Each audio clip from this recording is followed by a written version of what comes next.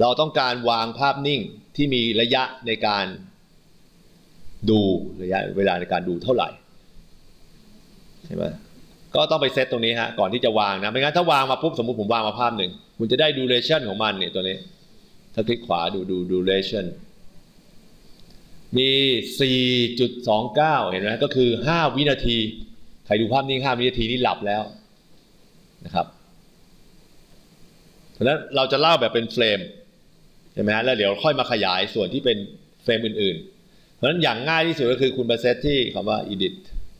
preferences บอก timeline เห็นไหม timeline ตัวนี้ ตัวนี้จะกำหนดสิ่งที่อยู่ใน timeline ทั้งหมด คือเนื้อหาเช่นวิดีโอ transition ปกติจะ 30 เฟรม เห็นไหมฮะ audio transition ไอพวก cross fade ที่จะดังขึ้นลดค่อยเบาลงก็ 1 วิ แล้วก็ still image อันนี้เป็น second เห็นไหมฮะ เปลี่ยนตัวนี้เป็นเฟรมอ่าเป็น second ปุ๊บร้อยห้าสิบเฟรมเนี่ยบอกไม่เอาฮะเอาครึ่งเดียวคือสิบห้าเฟรมเต็มที่ไม่ควรเกินหนึ่งวิหนึ่งวินี่ถือว่าช้าแล้วนะเพราะว่าเราไม่ได้ present ทุกรูปจำไว้ เวลาเราเล่าโดยภาพนิ่งอะเราจะมีเรื่องของสภาวะแวดล้อม หรือการโยงเข้าไปยังจุดสนใจที่เป็นภาพที่เราจะ freeze ให้มันนาน เพราะนั้น standard เข้ามาเนี่ย ผมเอา 15 เฟรม ตอบโอเค นะครับลองหยิบเอา footage ทั้งหมด กด shift ลากมาวางบนทำลาย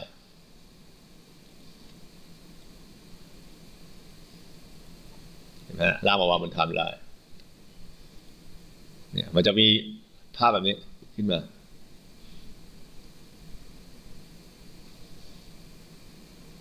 นี่สิบห้าเฟรมแล้วเนี่ย แต่ว่า ตัวมันวิ่งไม่อะไรครับ ไม่ใช่เป็นเรียลไทม์เห็นไหมเป็นเหลืองๆขนาดรันภาพนิ่งยังไม่สามารถรันเรียลไทม์ได้ ถือว่าเป็นโปรแกรมที่น่ารักมาก เออไม่ใช่ เป็นเครื่องที่น่ารักมากอย่าไปโทษโปรแกรม เพราะนั้นถ้าอยากรันเรียลไทม์อยากรู้ว่า 15 เฟรมจริง ๆ เป็นยังไงทำไงฮะ มาที่หัวก่อนเนี่ยนี่คือปัญหาของ เครื่องที่ไม่มีการ์ดจอไม่มี GPU พอเพียงนะครับไม่มี graphic processing unit นะครับกด I ฮะแล้วก็ไปยังกด N ไปยังท้ายคลิปกด O อย่างงี้ IO แปลว่า in ใช่ไหม in point out point อ่าแล้วสั่ง sequence render in to out ภาพนิ่งต้อง render อะคุณคิดดูเถอะว่าเรามีอุปกรณ์ที่น่ารักขนาดนี้ จำไว้เวลาจริงเนี่ยหนึ่งวิเรารู้แล้วเราประมาณการได้ใช่ไหมสิบห้าเฟรมเนี่ยก็คือครึ่งวิ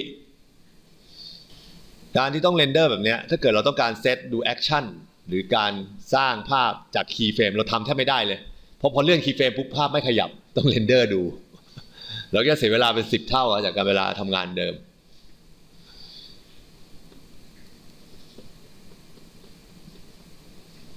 ผมมีภาพนิ่งแค่ไม่กี่ภาพเองนะ ประมาณยี่สิบมั้ง ยี่สิบเนี่ยยี่สิบสามยี่สิบเอ็ดเอายี่สิบสามก็คือใช้กล้องถ่ายภาพเนี่ยแหละฮะถ่าย อย่างแรกคือเราใช้ภาพนิ่งเลยนะครับเก้าสิบอ้าวไม่ใช่ แสดงว่าการ render ของมันไม่ใช่เฟรมเห็นไหมเจ็ดแปดอันนี้เป็นวิ เออ เป็นวิ เพราะนั้น save ก่อน ปกติเนี่ย ถ้าเราสั่งแล้วนะครับผมจะลบนะ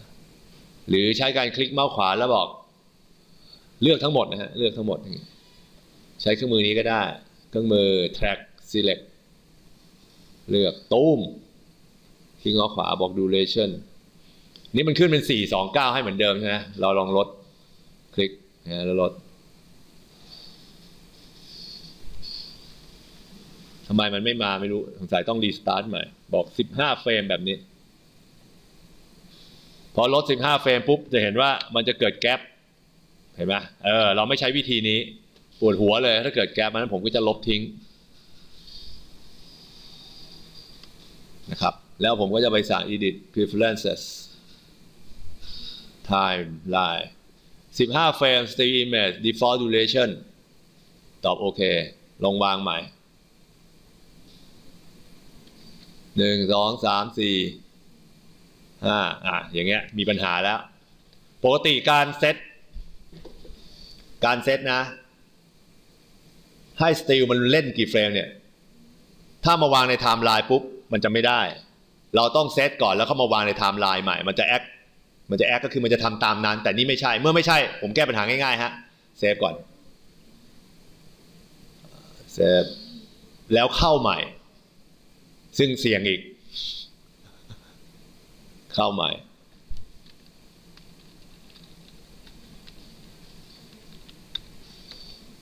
บิวเจ็ดแล้วไอ้วีคเจ็ดแล้ว เพิ่งเรียมเรียนนี่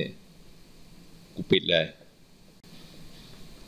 เมื่อวานนั่งดูอยู่ๆมีโฆษณาเข้ามา โฆษณามือถือ P สามสิบเคยดูไหมหัวเว่ยคนเล่นคือโดนัท ผมเพิ่งรู้ว่าเอ้ยคุณโดนัท คุณเป็นคนพิโลกเหรอทำไมตัวคุณไม่เหมือนเพื่อนพ้องน้องพี่เหล่าตระกูลเลย คนพิโลกจะตัวดำๆนะฮะกิมเกลียมทำไมคุณแม่งขาวเหมือนเต้าหู้ในตลาด แล้วทำฟอร์มเหมือนหน้าสด แต่จริงหน้าไม่สดนะฮะลงลงพื้นลงอะไร กลับมาดูใหม่นะฮะลองเทสก่อน still image เจ็ดแปดเก้าสิบโอ้ เลิกกลับบ้านฮะ ไม่สามารถเซต freelance เสร็จตัวนี้ได้ นี่ time timeline บอก still image default duration 15 เฟรม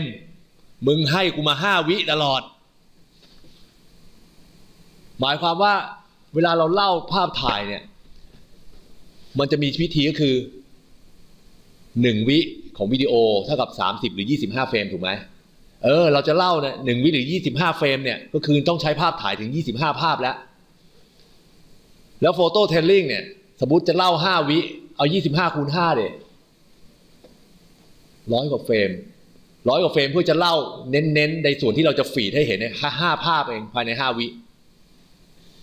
มันมันจะวิ่งเร็วมากประมาณ3วินะเห็น5ภาพแล้ว แต่กลับตั้งเนี่ย เฟรมตรงนี้ไม่ได้สินี่เพิ่งเจอปัญหาเลย เป็นไปได้ยังไงแล้วกูยังงง เป็นปะตั้งได้ไหมได้ปะ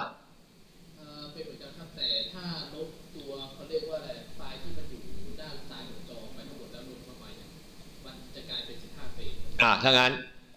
ต้อง import เข้ามาใหม่อินพอร์ต import ใหม่อะถ้างั้นใช้วิธีใหม่ ผมลบ ตลกดีนะ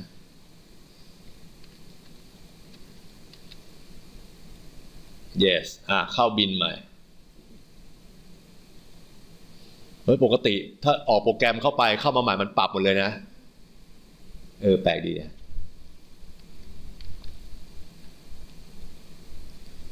เข้ามาใหม่เร็วที่รัก อ่า เข้ามาใหม่แล้วลองยกมาวาง แน่ได้แล้วขอบคุณคุณธนวิทย์นะครับ เห็นไหมฮะจะเห็นว่าเนี่ยคือเรารันง่ายๆเห็นไหมตึ๊ดตึ๊ดตึ๊ดตึ๊ดจุดมุ่งหมายคือเราจะเล่า นี่องค์พระองค์พระองค์พระองค์พระปั๊บนี่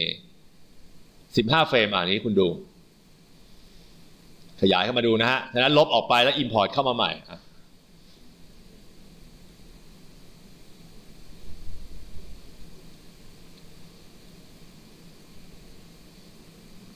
ถ้ารู้สึกว่าตรงไหนมันอย่างเงี้ย ผมจะเล่าสภาพแวดล้อมขององค์พระอันนี้เห็นไหมฮะหนึ่งสองสามสี่อันนี้ยกไว้ก่อน อันนี้นะฮะยก ให้เห็นว่า อันนี้เดี๋ยวเราเล่าต่างหากหนึ่งสองสามเห็นไหมอันนี้รูปพระอันนี้ยก ให้ add track ขึ้นมานะฮะ add track ขึ้นมาเลยนะครับ โดยในตามลำดับไล่จากฐานสาม นไหมคุณเล่าเล่ามาหนึ่งอันนี้ยกสองพูดง่ายเราจัดซีเควนต์ใหม่ ส่วนตรงนี้ สภาพแวดล้อมปล่อยมัน ป่าตรงนี้เอาไปไว้ตรงนี้ เนี่ย มันไม่ต้องใช้เทคนิคอะไรเลย มันเป็นเรื่องของการเล่า เอาป่ามาก่อน ตรงที่ว่างเนี่ยถ้าเกิดเราเห็นที่ว่างที่เราจะลบ เราใช้คำสั่ง ripple delete นะฮะคลิกขวาบริเวณที่ว่างเห็นไหมนี่เล่าถึงสภาพแวดล้อมก่อน นี่สภาพแวดล้อมเพราะนั้นนี้ยกออกสั่ง ripple delete นะยกออกไปก่อน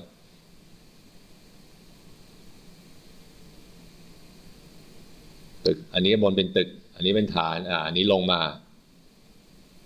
ฐานถึงไหน เริ่มเข้ามาใกล้ๆอ่าถึงตรงนี้ใช่ไหมฮะตรงนี้แทรก เอาตัวนี้มาวาง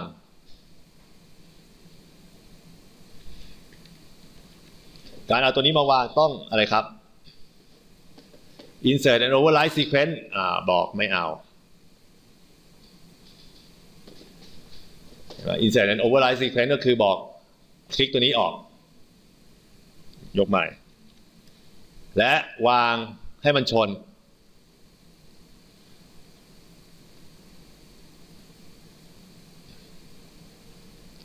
link selection snap แป๊บหนึ่ง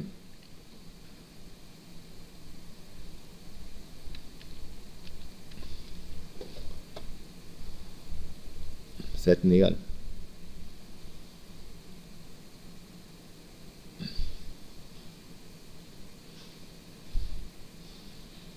พู ดง่ายๆเราพยายามจัดซีเควนต์ลำดับของการนำเสนอใหม่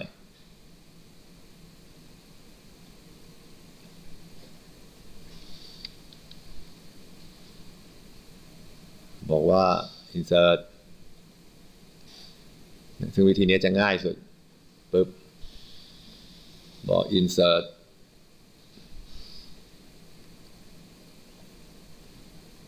change this โอ้โห ยาวงี้เลย อะไรวะเนี่ย ไม่เอาไม่เอานะครับ เพราะนั้นก็ยกแทรกเอาแล้วกัน มันไม่ยอมครับขึ้นมาที่ฐานปุ๊บยกนี้ออก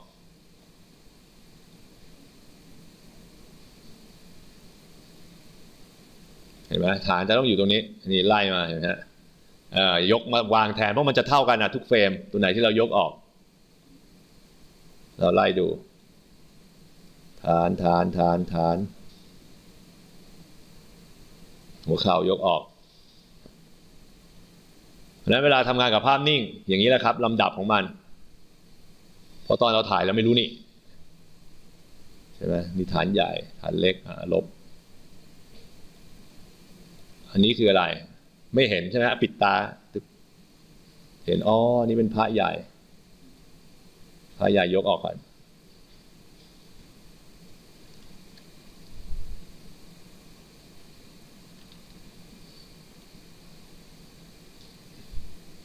ที่ยกก็ปรับอะไรครับกด shift ให้มันลงล็อก แล้วก็ยกมานี้กด control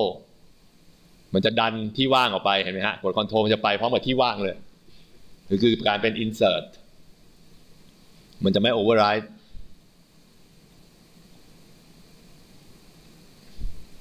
คือองค์พระ ตรงนี้คือหนึ่ง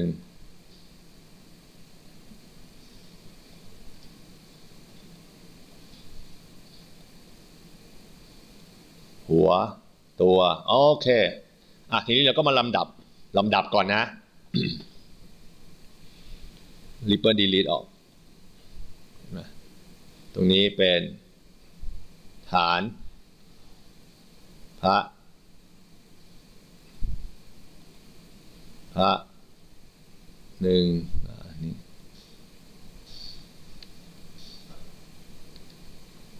ฐานพระ องค์ใหญ่ อันนี้เป็นหัวเขา่าหัวเข่าลงข้างล่าง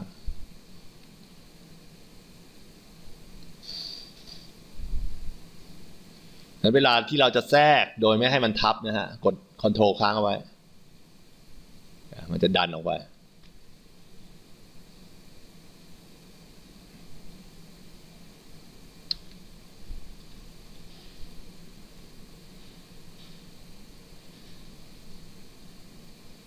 นี่แทรกลงมาเลย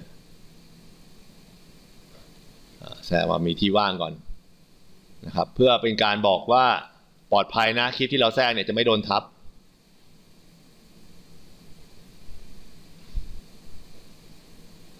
ยกลงมา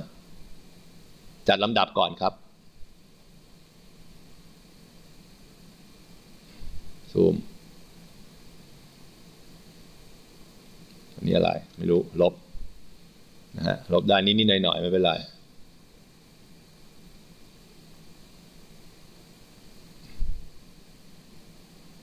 อันนี้ ย้ายมา นี่เห็นไหมฮะ กด control ไว้มันจะดันแทรกไว้แล้ว ripple delete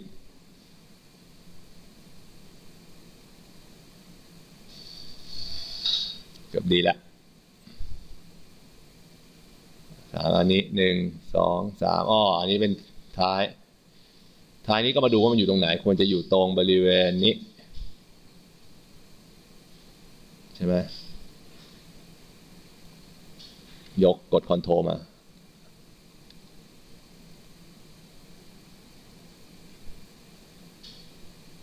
เนี่ยถ้าเกิดเห็นอะไรนิดๆหน่อยๆอย่างเงี้ยฮะกดชิปripple delete อ่าให้มันกลับมาชน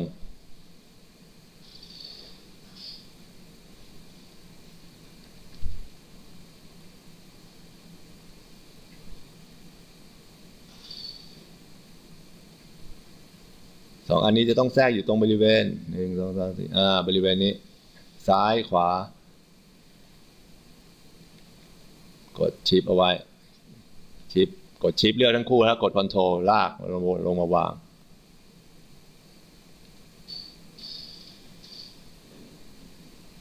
อ่าเห็นไหมฮะ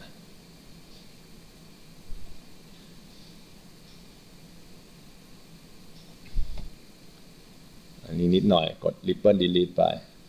เล่นเป็นภาพนิ่งอย่างเงี้ยมันขาดไปนิดนึงภาพก็ไม่ได้เสียหายเลยเพราะมันเป็นภาพนิ่งใช่ไหมพอได้ปุ๊บค่อยมาเน้นเช่นคุณจะเน้นเฟรมไหนเนี่ย คุณดูมันเล่ามาสองสามสี่ห้าหกเจ็ดแปดเก้าสิบปุ๊บเอ็ดสองสาม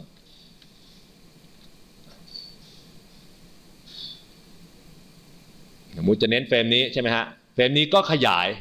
โดยการคลิกขวาแล้วบอกเฮ้ย speed and duration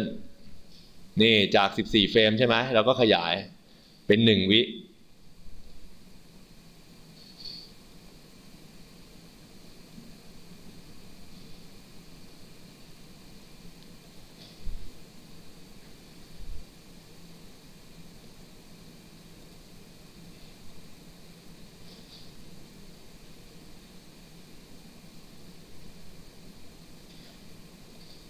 นี่ ต้องคลิกตัวนี้ด้วยนะฮะ เวลาที่เราทำก็คือ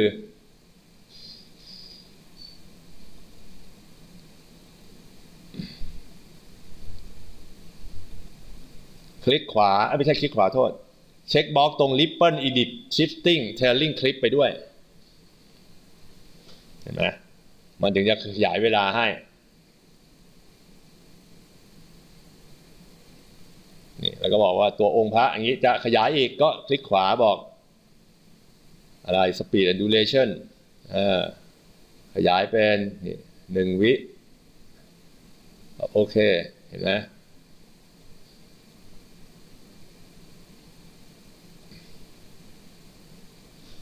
ขยายเป็น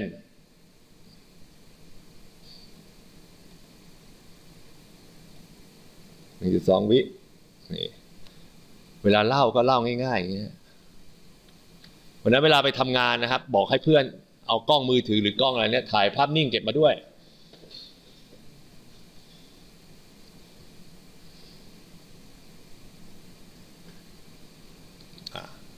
พอเราทำงานเสร็จเราสามารถทำไมฮะ nesting มันนี่ครับ nesting มัน เลือกทั้งหมดเลย เห็นไหม แล้วก็คลิกขวาบอก nest อ่าบอกเป็น still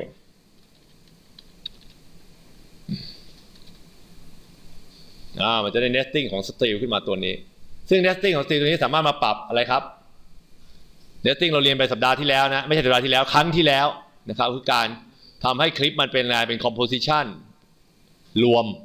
หลาย ๆ คลิปออกมากลายเป็นหนึ่งอัน มันจะสร้าง still ตัวนี้ขึ้นมาเดี๋ยวผมรีเนมก่อนเดี๋ยวมันทับกัน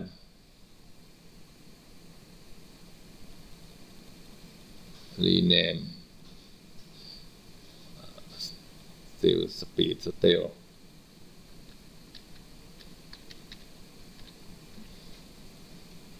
พอเป็น speed still เราสามารถทำไมฮะ คลิก speed and duration ทั้งหมด เห็นไหมสิบสามวิ บอกเฮ้ยไม่เอา เอาโดยรวมให้ลด นะหรือเล่าแปดวิพอ แต่ action ข้างในเหมือนเดิม ผม render ก่อน นี่คือการปรับ speed รวมอีกทีนึงนะ ข้างในเราบอกว่าแต่ละภาพ 15 frame ใช่ไหมอาจจะดูอืดพอเราทำเสร็จเราประกอบแล้วก็ nesting มันโอ้ตายโทษมือไปโดนไมค์นะครับ ต้อง render ฮะเพื่อดู speed ที่แท้จริง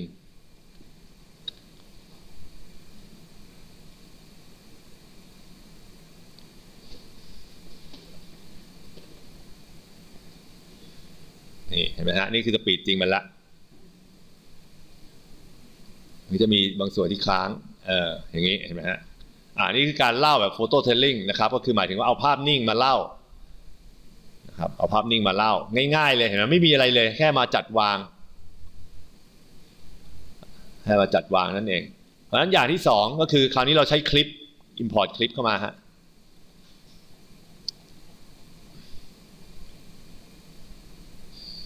ผม กลับไปที่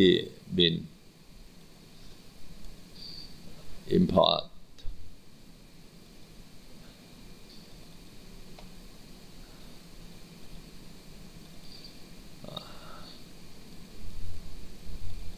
สมมติไม่สมมุติอะเอาจริงๆเอาสักคลิปหนึ่ง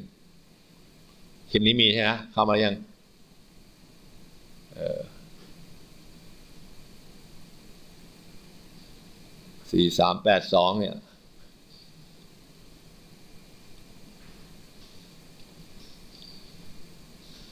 ล่างมาวางคลิปมีความยาวเท่าไหร่อ่าผม unlink ก่อน unlink ลบเสียง จริงๆ ต้องคลิกไอ้ตัว A นี่นี่เอาออกนะครับ พวก basic พวกนี้เราเรียนหมดแล้วนะ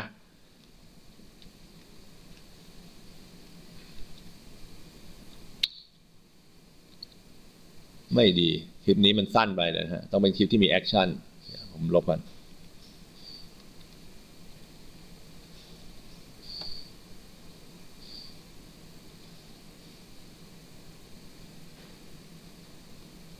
คลิปนี้แล้วกัน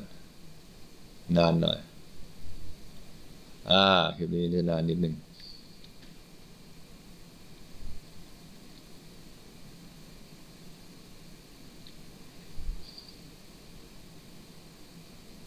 เห็นไหมฮะคลิปนี้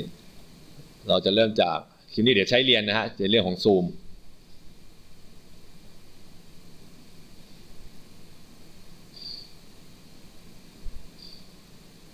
เห็นไหมคุณลองเลือกมาช่วงนี้ที่ที่ซูมมาถึงตรงนี้นะฮะปกติเราสามารถเพลย์ไปแล้วกดโอ้ยเฮ้ยไม่ได้เว้ย เวอร์ชันนี้ไม่ได้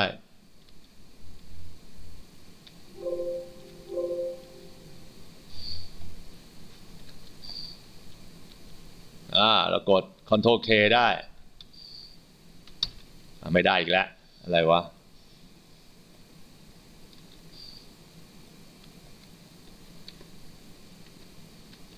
เกิดอะไรขึ้นกับคีย์บอร์ดไม่ได้ไม่เป็นไรก็เลือกเอางี้ ปกติมันใช้เทคนิคนี้ได้นะฮะ ในการที่จะเลือกเฟรม ทำอะไรไม่ได้เลยคีย์บอร์ดอันดูดิ เออ อันดูมา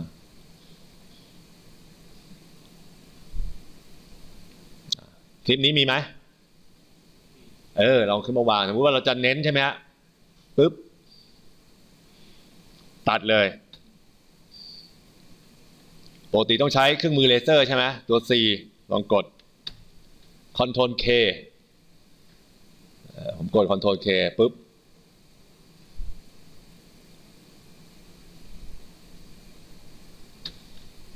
โดยใช้เครื่องมือเลือกเนี่ย Ctrl K กดไม่ไป ต้องกลับมาใช้เลเซอร์ทูแล้วกด Ctrl K ไม่ไปอีก เอ๊ะ ยังไงงั้นก็ใช้เลเซอร์ทูนี่แหละวะ อะ กดชิปค้างเอาไว้ แล้วเลื่อนให้ตรง นะก็คือคลิปถูกแบ่งออกเป็นหนึ่งสองสาม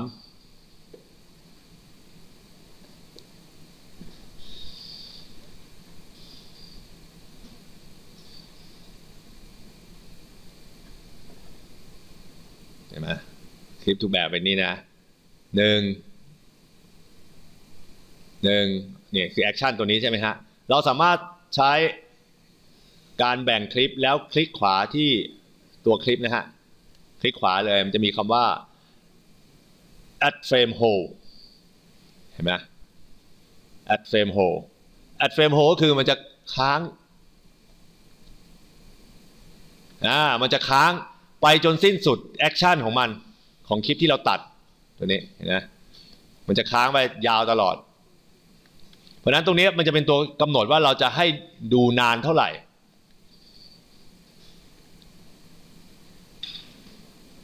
ให้ดูนานเท่าไหร่ก็คือ ซูมเข้าไป มัน add frame hold ให้ตรงนี้ ถ้าเกิดเราเลื่อนตรงนี้ดูจอเล็กปวดหัวจริงๆนไหมฮะ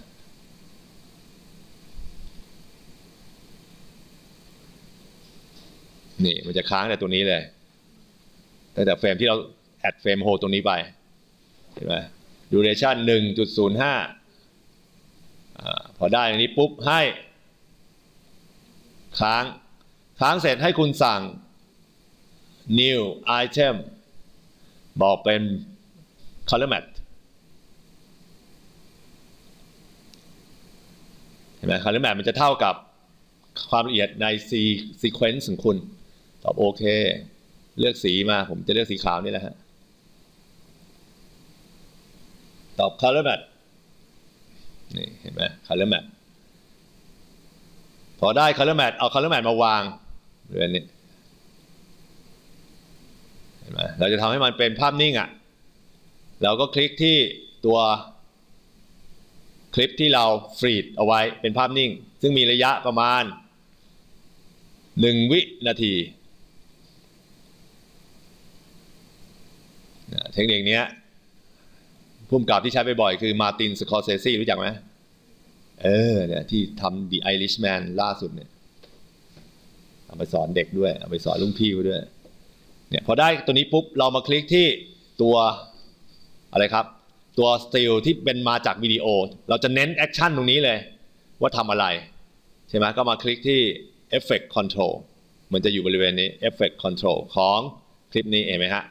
จะมีคำว่า motion อ่าบอกสเกลลดลงเห็นไหมสเกลลดลงแล้วเป็นอะไรครับ เหมือนเป็นเฟรมของภาพนิ่ง นั้นถ้าเกิดรันมาเบอนี่เห็นไหมเป็นการหยุดว่าเอ้ยเน้นตรงนี้ พอต่อไปกลับมาเป็นเท่าเดิมเก็ตไหมนี่คือเทคนิคง่าย ๆ เลย เวลาที่จะย้ำหรือบางทีเป็นภาพ อื่นก็ได้ ที่จะเล่านะครับ ที่จะเล่าที่เกี่ยวข้อง สามารถทำไมฮะสามารถเลือกให้มันเป็นอะไรครับถ้าทั้งหมดจะให้มันดูเป็น black video ก็คือต้องย่อตัวนี้ลงมาอีก color นี่ตัวนี้เห็นไหมให้เป็น scale เห็นไหมอยู่ที่เราจะทำยังไง แล้วถ้าบอกว่าทั้งคู่ ให้มันทำไมมีการเอียงของภาพ ก็ต้องถัง nesting ถูกไหมฮะแล้วกดชิปเอาไว้นะแล้วเลือกทั้งคู่แล้วสั่ง nesting ถ้าถ้าไม่สั่ง nesting ใช่ไหมคุณสั่งนี้ก็ได้ทีละอันก็คือ effect control ของ ภาพนี้ก็มาสั่ง rotation เห็นไหม rotation 13 ตัว color ก็เป็น 13 เหมือนกัน เลือกเอาแบบสั่งทีละอันหรือจะเอาเป็นแบบ nesting แล้วสั่งทีเดียว อันนี้ได้แบบ 2 อัน เพราะนั้นสรุปหนึ่งเรากำหนดจุดที่จะเริ่มก็คือ in point เห็นไหมนี่คือ in point แล้วสั่งคลิกขวาบอก add frame hold ถูกไหม add frame hold มันจะเริ่มจาก in point ตรงนี้ไปจนสิ้นสุดคลิปตามที่เราตัดไว้เลย ก็คือสิ้นสุดเวลาของภาพนิ่งแล้วมาต่ออย่างนี้ดังนั้น photo telling หลักการจะมีประมาณนี้นะครับคือการเอาภาพนิ่ง ต่อจากสัปดาห์ที่แล้ว ผมจะ stop ไปก่อน